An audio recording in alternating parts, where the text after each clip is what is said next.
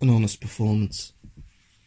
Centauri was the flagship of the Tessan Navy, named in the honour of the council that had founded their great nation, growing it from the small province it had once been, bullied and intimidated by all its neighbours, into the most powerful country of the continent, with formidable armies, scientists, and its pride, the Navy. Sat upon the deck of the Centauri was Queen Olianthe, the first Tessan queen in her own right. She had led a brilliant military campaign to overthrow her incompetent brother. She commanded respect at every level of society and terrified any of the disobedient into compliance. She had rewritten the constitution and ascended to the throne. Other nations had mistakenly thought the woman would be incompetent and thus making Tessa a vulnerable target. She had quickly taught them how in error they were. Any rivals of Olianthe who did not fear her were already dead, and she knew that she had saved her nation from the potentially disastrous ruin of her brother, a man interested in food and fornication and little else. He was a fool who would have brought nothing but disaster. As she adjusted herself in the grand chair, she let a small smile cross her lips. She felt a warmth at remembering how all the barons had bowed to her. The satisfaction, over a decade later, was still so vivid. She took a sip of her wine and took a deep breath of the fresh, salty air. The sun shone down so brightly, and the soft cadence of the waves eased her body. She had led armies on land and displayed her prowess with the blade many times, but it was here, on the open seas, that she felt most alive, most at home. They had come out far enough that the seagulls had fallen back and returned to land, but the seas had stayed calm and welcoming, setting just the right stage for the Battle of Versailles celebrations. Her people would have the annual commemoration. They would hear the tales of it, and the tradition would continue. It was not particularly to her taste, but she would not deny her people the things they'd held dear. What was a nation without the contentment of its people? Nothing but a criminal enterprise where its leaders would grow fat on the marrow of peasants. There would be fireworks tonight. The skies would be lit, and those on the distant shore would marvel at their beauty. They would be spoken of across all the lands.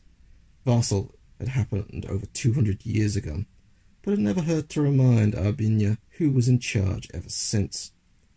The main deck would soon be overtaken with tables for her guests. Banners would be hoisted and the sails lowered. Music would fill their ears and the atmosphere would be brimming with energy. The most glorious of foods by the finest of cooks would be laid out before them, and Olianthe would indulge one of her numerous appetites. To either side of her sat her advisers, Verples and Vertaken, both men of great knowledge and wisdom, also utterly devoid of humour and vibrancy. They dealt in details and plots, not song and revelry. She longed for better company, like that of the man who had returned once more to entertain them, Nevin Kyle. First and foremost, a fool, a joker, a jester, but also a wit and singer, a man of joy. He was beloved across Tessa, second only to the Queen, the people would say. Fortunately, she was not a ruler prone to jealousy, and his head had not been liberated. Instead, he was obliged to come here every year and be her entertainment. It had been a year or two before she had realised that he actually enjoyed coming here. The fireworks were a particular delight. Any explosion not intended to kill me is rather fun to see, he had insisted. I'm not worried about you killing me, because we aren't even related. She had let him make the joke, and hadn't been sure why. She had laughed even. It was such a strange and confusing feeling. Now Carl was playing the lute whilst doing acrobatics. He'd have to go through this whole routine again at night, but she enjoyed watching him. He didn't seem weighed down by anything at all.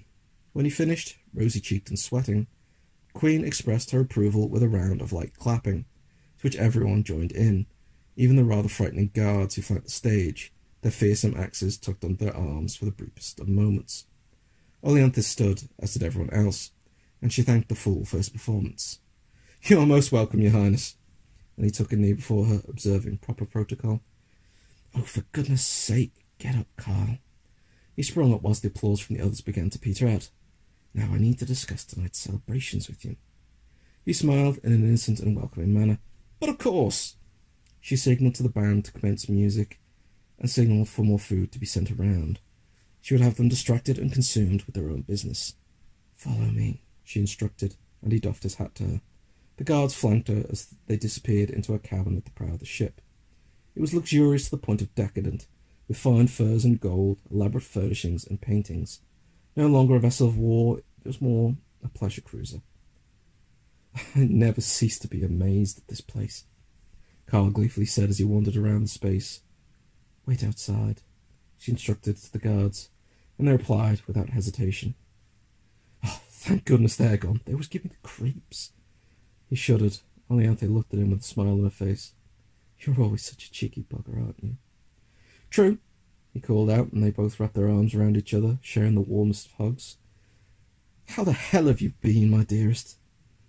Good, good, she replied. And you? She gave him a little peck on the cheek, and they separated. Oh, me, I've mostly been entertaining at the homes of banal rich people and selling out to record crowds. Seems like people actually like me. Really? That is hard to imagine, Olianthe replied, spying a fresh platter of strawberries. I thought I told the jokes. She raised an eyebrow. Who said I was joking? Ouch! He called out and grasped his stomach as though he had been shot by an arrow. Apart from wounding the egos of delightful performers, what else have you actually been up to recently? He perched himself on a large chair that made even his frame seem diminutive. I've mostly been running a country. Seems as though that's expected of a monarch. Two strawberries had already succumbed to her hunger, a third was about to meet its doom, and I have also been attempting to learn the lute. Really? Carl seemed surprised, and that amused Olianthe. Really? Twice a week for almost a year now. And how's that been going? Well, I still have to hire some silly bugger to play the lute at events like this, so... She let out a laugh, and he chuckled along with her. By God, he loved the sound of that laugh. He'd only get to enjoy it once a year, but he'd be damned if it wasn't worth the wait. Here was the fierce warrior queen, the tigress of Tessa, enjoying a bit of banter in a private cabin. If someone had told him several years ago that this would happen, he'd have mocked them and not believed a word. But here he was. It was unbelievable. Women had never had much time for him, even with his growing fame. There was never much interest. He always tried to let it roll off his back, but it always cut him. But sat across from this woman, all those years of rejection didn't seem so important. Olianthe scratched the scar above her right eye, a habit of when she was nervous, and sat down on the bed. For propriety of importance to her, this would not be permitted. As it was, she didn't care. She wanted to hear about the travels and adventures of this fascinating man. Each year he would sit and vividly recall all his encounters, shows, humiliations, and adventures. The time would flow like water, pouring out of the jug so quickly. She would laugh and cry with him, and then the clocks would announce that it was time for the show. The people needed their queen. They talked away the hours until very little time was left, and nerves were swelling up in Carl's stomach. He would normally deal with feelings through a joke or a song, but he knew better than to use such tricks with such a sharp woman. He had a question and needed to ask it. Why did you reject me? The question came out of the blue, and the Queen had not been expecting it. She sat there, puzzled, slightly taken aback. Pardon? You must recall, two years hence we spoke until the crack of dawn, and as day broke, I offered myself to you. Why are you bringing this up now? She was genuinely confused and anxious at the question. The usually jovial Carl now sounded so broken. Was, was it was it my work or my class or it was neither of those things, I promise you. I'm not a shallow woman, and I do not allow society to dictate rules to me. Olianthe was dead serious. Her voice had become somewhat stern. Can I ask why? I do not wish to cause disquiet in your heart, but I merely ask for some honesty. But I do not wish to hurt you. She touched his hand, and a sad smile was on his face. And, he said, with that I have my answer. Only one truth would really hurt me that you do not love me. He held back the tears that so readily wanted to flow.